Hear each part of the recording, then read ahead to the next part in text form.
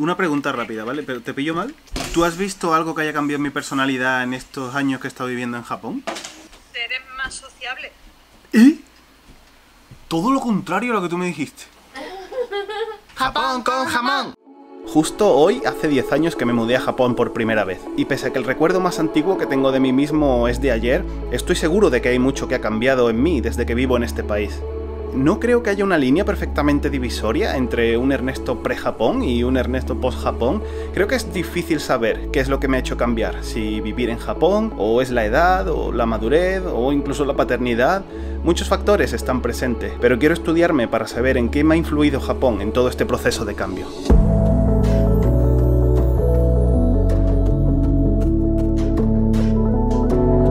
Este vídeo en el barrio Shinokubo, en el barrio coreano, como se le llama, porque mi aventura empezó prácticamente aquí, es donde todo comenzó. Sí. Estamos buscando mi escuela, en la que entré en aquel momento, hace 10 años, pero claro, me acabo de acordar de que estaba aquí y ahora no, porque la cambiaron. Déjame buscar dónde estaba. Está cerca. Sí, está cerquita. No somos los únicos que hemos venido a grabar aquí hoy. Y... Llegamos. ¿Tu profe todavía estará aquí? No, porque ya vine cuando estaba en Rikyu, cuando estaba en la universidad y, y ya no estaban. Toda esta zona además está llena de residencias para estudiantes. Esto para tirar. ¿Esto que es para la basura? Ah. Hay alguien que ya no necesita esto.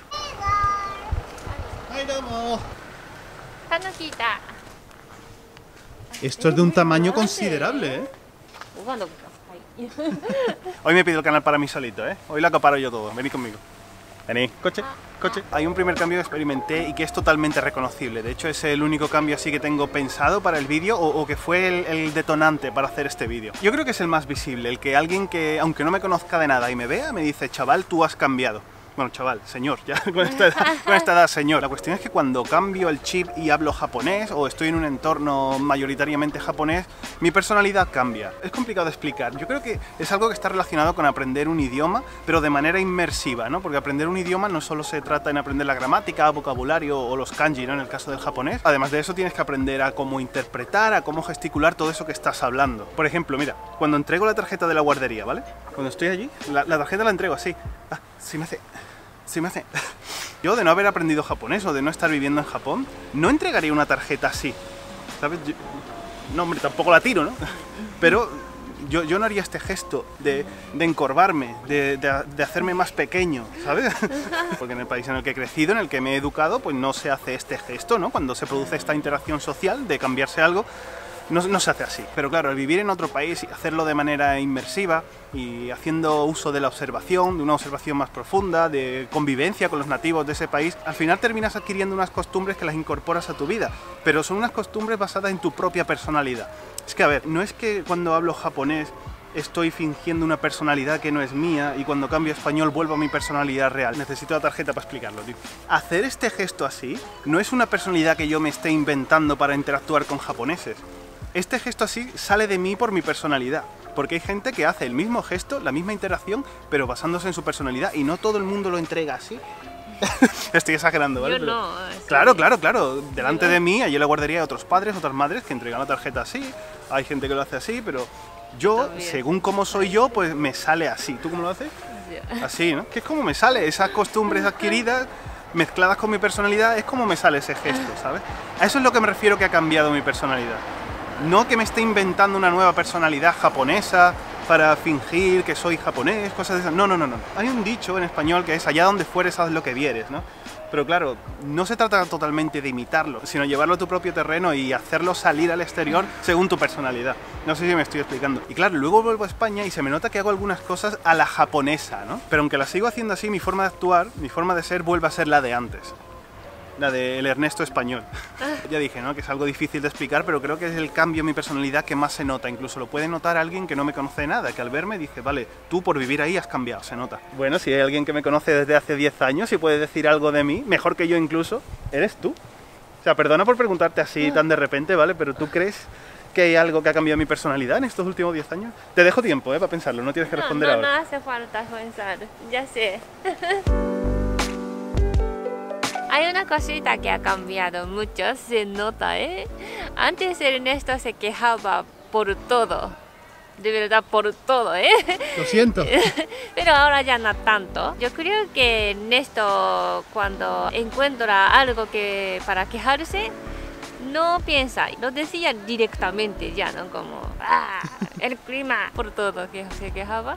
Pero ahora ya piensa primero y eso tiene solución o algo que de verdad necesita quejarse, ¿verdad? Antes, cada vez que yo lo escuchaba, yo también me sentía muy mal y tenía mal humor un poquito y me afectaba mucho es que no puedo solucionar, ¿no? Entonces, ¿qué hago yo? Eran cosas chiquititas y todos los días, ¿no? Para mí esas cosas chiquititas, problemitas, no necesita quejarse. Prefiero olvidar y no quiero recordar otra vez contando a alguien y no quiero hacer perdiendo el tiempo la otra gente con mis quejas, ¿entiendes? Ahora para escuchar mis quejas. Viene. La gente que pasa por ahí nos mira y dice, mira, están entrevistando a una ídola coreana de esas, ¿sabes? Ah, no, no. ¿Qué pareces? Parece, sí, sí, sí, de algún grupo coreano. Qué. Es que yo cuando me quejo, algo que necesito desahogarme de verdad, ¿entiendes? Sí. Mm, Y también ahora tú eres más cerrado que antes. Antes, eh, cuando encuentro a alguien que tiene guitarra o patinete, patín, Sí. ah, yo quiero hablar con él y directamente va y hablaba. Tú eres más cerrado porque a lo mejor vive en Tokio. Por eso, a lo mejor vive en otro sitio, como Osaka, a lo mejor cambia un poquito. Nada más que añadir, señoría. Ni siquiera se me había ocurrido eso que has dicho, pero ahora que lo dices sí que es verdad. Sí que es verdad. Y tiene su explicación, ¿vale? Deja, deja que lo explique, deja que os lo explique también a vosotros. ¿Qué era? Lo de las quejas.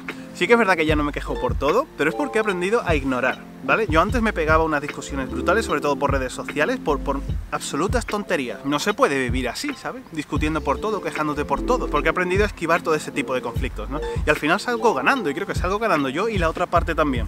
Porque no perdemos el tiempo inútilmente, podemos utilizar nuestro tiempo eh, haciendo algo útil en lugar de estar discutiendo, ¿no? Y, y en lugar de estar quejándonos. Se puede mejorar mucho la salud también con eso, la salud mental. ¿Qué era lo otro? Ah, lo de que más cerrado. Creo que es por la edad, porque yo antes con 20 años, ¿vale? Hace 10 años, pues sí que es verdad que tenía ganas de conocer gente, porque no conocía a nadie aquí, ¿vale? Te conocí a ti y, y algún par de amigos que conocí por internet, pero nada más. Ahora no, porque ya 10 años después tengo mi círculo de amigos hecho y no sé, como que no veo esa necesidad imperiosa de tener que relacionarme con todo el mundo. Hace ya dos días que yo y yo tuvimos esa conversación en el parque y le he estado dando vueltas a la cabeza. Se me ha ocurrido algo nuevo que aportar a, a esto de ser más cerrado. Puede ser que se me esté olvidando mi idioma, puede ser, pero no, creo que también hay algo más profundo y es que no soy capaz de encajar o, no me siento a gusto cuando tengo que tratar con algunas personas de habla hispana. Claro, como no sé con quién me voy a sentir a gusto, con quién no, pues entonces evito todas las situaciones. Evito todas esas situaciones y así pues no se genera ningún problema, ¿no? Es a lo que se le llama choque cultural a la inversa o a lo mejor que estoy muy viejo ya para estas cosas, no lo sé. Pero cosas como de ir por la calle y que digan, pero si esa está plana, no tiene nada. Pues yo qué queréis que os diga, yo no me siento a gusto en ese tipo de entorno y pues prefiero no tener relación. Por eso mismo pues cada vez estoy más solo. Yo creo que Ernesto no pensaba que se está quejando por todo, solo está contando algo que ha pasado hoy o solo cuenta su historia, pero para mí son todo quejas. Los japoneses a lo mejor piensan en los demás, entonces si yo digo esto a lo mejor eh, se siente mal y entonces prefiero ignorar y no hablar.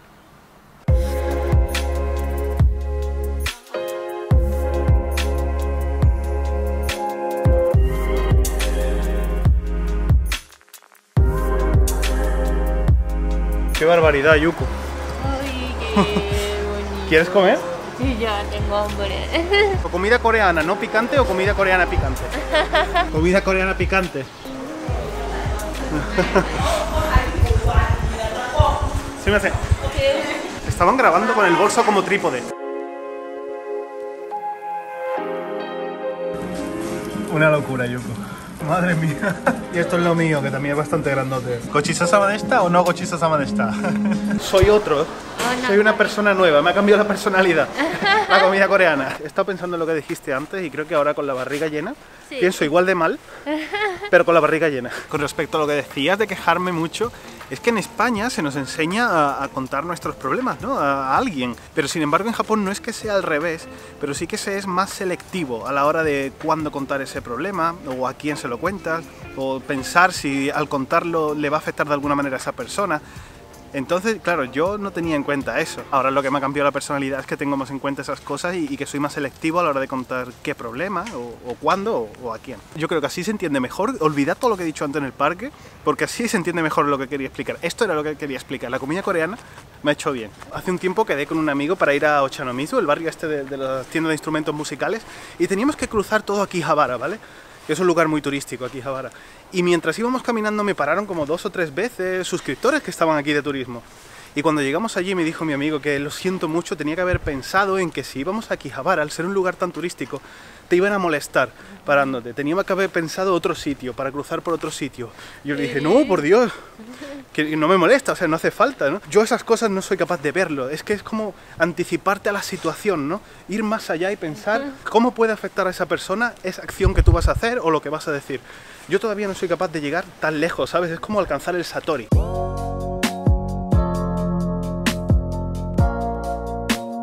¿Tú qué eres, un bebé o un ninja? Haren es un ninja, dámelo, dámelo. Qué peligro tiene el ninja, ¿eh? ¡Oh!